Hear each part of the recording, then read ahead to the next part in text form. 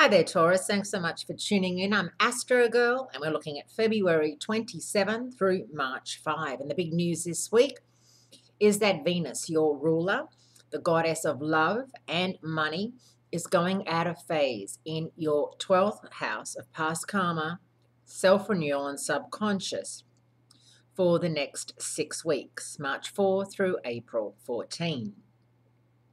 Now, the downside, there's always a downside, of course, to retrograde activity. And the downside is that it is something that doesn't happen very often. So sometimes it takes us by surprise just how powerful Venus retrograde is. And because Venus is the goddess of love, the Venus retrograde period is a deal breaker.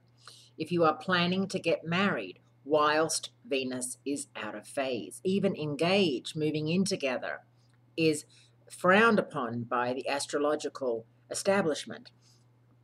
We consider it not to be a good move because Venus is not moving forward, and so the judgment and the tests that, inever, that inevitably follow such decisions and such major life commitments are not tested fairly.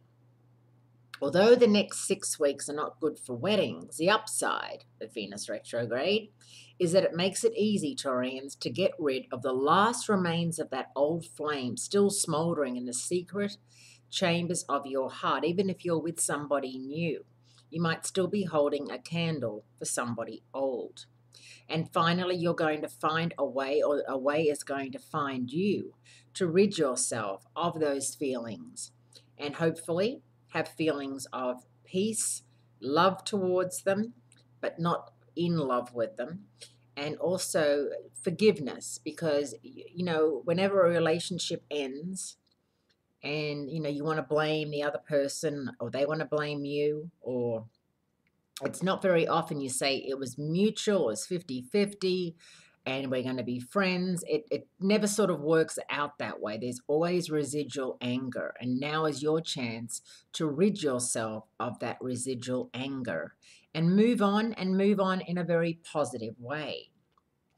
Now, a Mars trine, Mars Saturn trine on Sunday, March 5 is super productive because it means that hard work and following the rules equals success. Now, that is something that many of you you know, march to that sort of beat. You like to follow the rules. You like working hard. A lot of other signs don't. A lot of other signs make up the rules as they go along and get everybody else to do the hard work and then come in and get all the glory. So that partnership really works for you.